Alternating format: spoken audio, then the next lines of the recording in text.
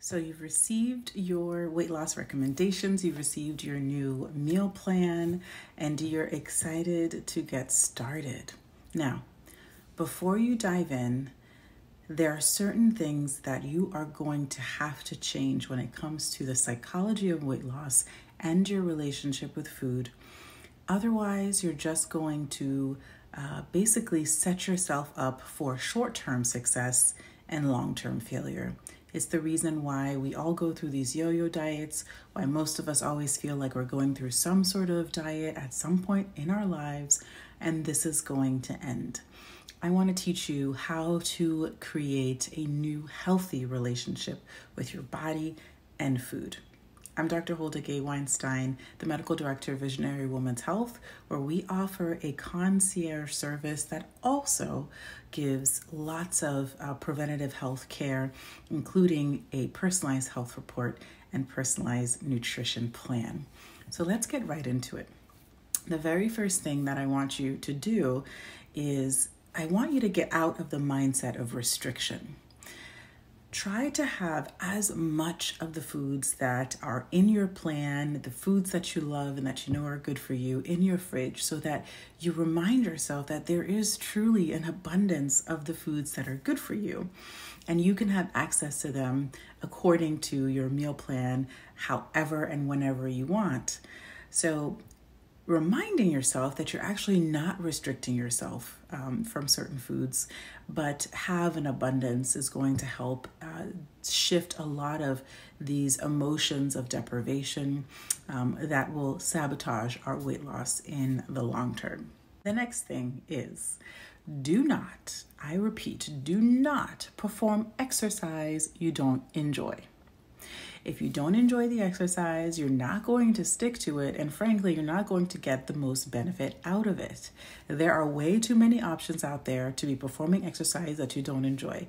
And if you're one of my uh, ladies that tell me I don't enjoy any exercise, we need to talk because I know that there are things that you enjoy we tend to think of exercise as certain, you know, squats and all these things that you can do at the gym, um, HIIT and all a myriad of things running but exercise is really just intentional movement where you can get your heart rate up for at least 20 to 30 minutes. That could be dancing that could be a brisk walk outside it could be a variety of things.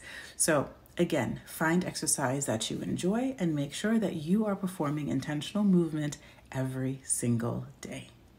Along those same lines do not eat food that you don't enjoy. So, if your meal plan includes a food that you hate, for example, there's a recipe with eggs and you hate eggs, don't eat the eggs.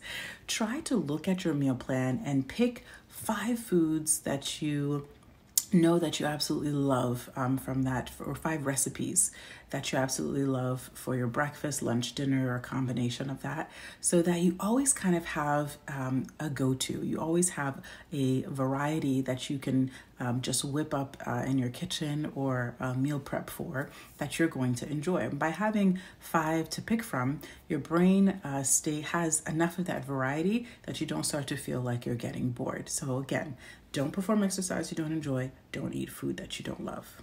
The next thing is, I want you to notice whenever you're feeling emotions of guilt or emotions of shame. These things will come up when, for example, you eat something that you know you're not supposed to eat, or you eat too much of something, you break some sort of rule uh, in these plans.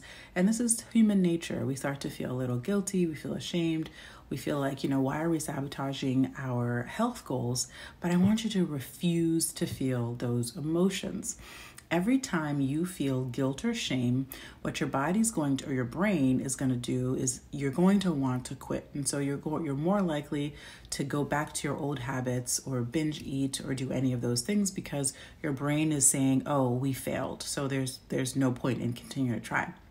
So instead of feeling feeling guilty that you had too many cookies when you were only supposed to have one, you know, just simply um, tell yourself, well, at least I, I stuck to my diet for most of the day today. So I'm actually very proud of myself for doing that. Tomorrow's a new day. We'll just pick up uh, where we left off.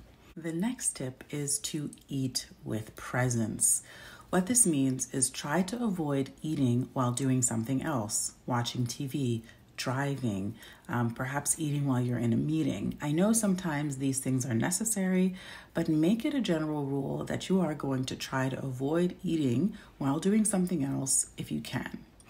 What this does is it allows you to really be present with your food and your body, to really make a connection with what you're eating and noticing how it's nurturing and fueling your body, and also how you're feeling as you're eating the food that you're eating.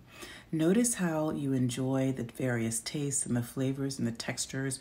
Notice how it, it feels as it's uh, going into your body. And also notice the I'm full cues. It's because we don't connect with our food or our bodies in general as a culture that we often tend to overeat or eat foods that our body is trying to scream and tell us, I don't want this. This isn't good for me. So always eat with presence. I want you to also remove this notion of taboo foods and okay foods. There is no such thing as a taboo food unless it's something that's not nutritious, you know, like, I don't know, cardboard, a non food item. There are no taboo foods.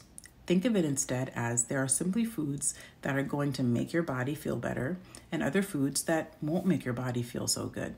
And it's okay to sometimes eat the foods that don't make your body feel so good. But now, because your perspective has changed, you know that you don't want to have too much of that, anyways. But it's okay to have it occasionally here and there. So remove that notion of taboo foods again so you can get yourself out of that mindset of restriction and deprivation. Recognize your excuses.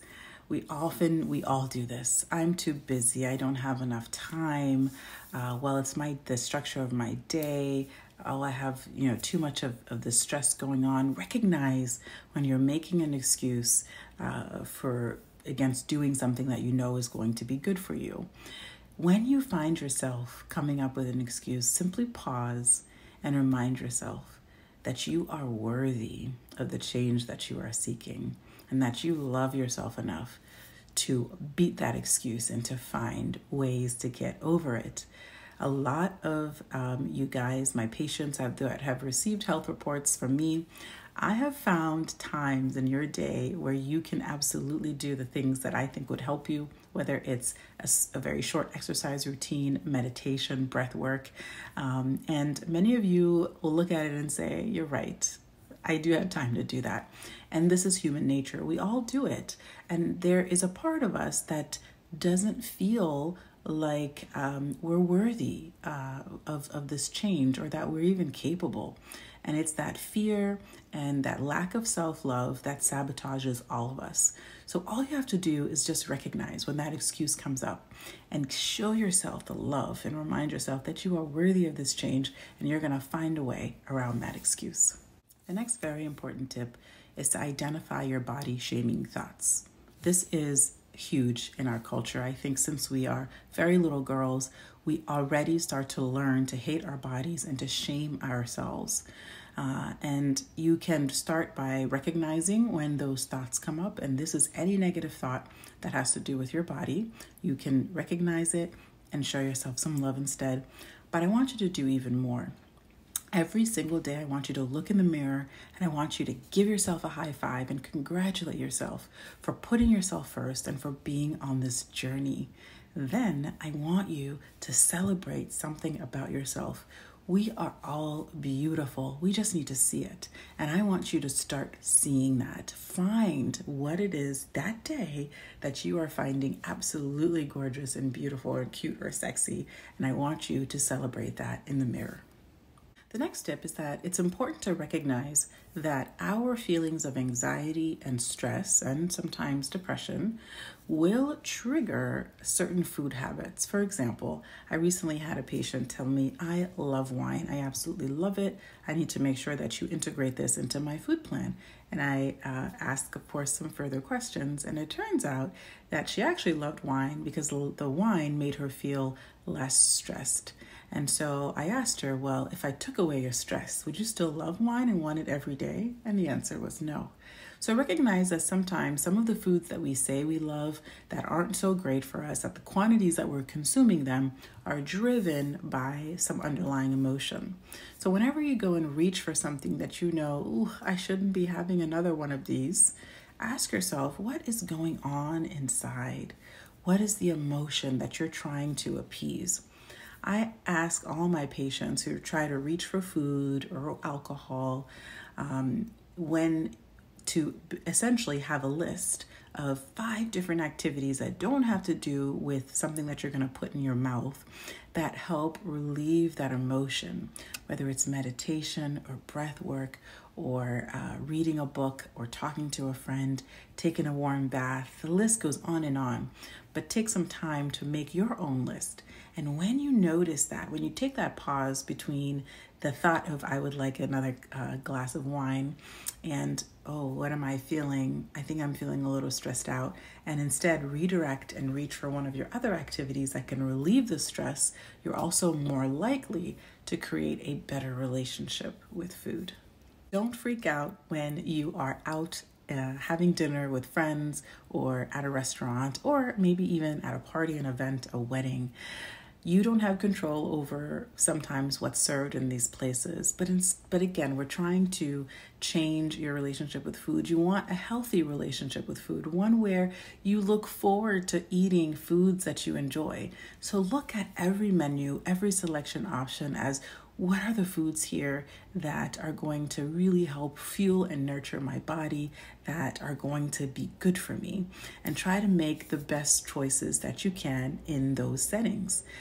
When you go into it with this feeling that, oh, there's not going to be anything that I can eat, everything is just going to be bad for me, then you're just going to be more likely to indulge in having, you know, five pieces of that cake rather than perhaps uh, eating a little bit of the protein and the vegetables that are available there. Also, remember, this is a dynamic fluid process. Your body is a very intelligent machine. If you're just occasionally having these uh, other foods that tend to make you um, either gain weight or not feel as great, you're you're not going to see those negative consequences because you're not doing that on a regular basis. So enjoy your events, enjoy mm-hmm. times that you're going out, and go into it with the intention to pick the best foods out of what's available that are going to make you feel good. And the very last tip that I have for you is remember that our brains are designed to want food when we see food. So if you have chocolate laying around on your counter, you are going to want the chocolate multiple times throughout the day every time you see it. It's why I don't leave cookies and chocolate on the counter because I have little kids uh, in the house that are going to constantly ask for another piece of it. And I know that I'm also going to look at it and say, hmm, I could use some chocolate right now. So try to keep food out of sight so that you can also spend your time thinking about other things. I think as a society and culture, we spend way too much time not only thinking about food, but having this war on food and our bodies. And so I hope that this will be the beginning of a new journey, a very new, amazing relationship with food and your body. I'm so excited for you. Congratulations for choosing yourself and for embarking on the best journey of your life.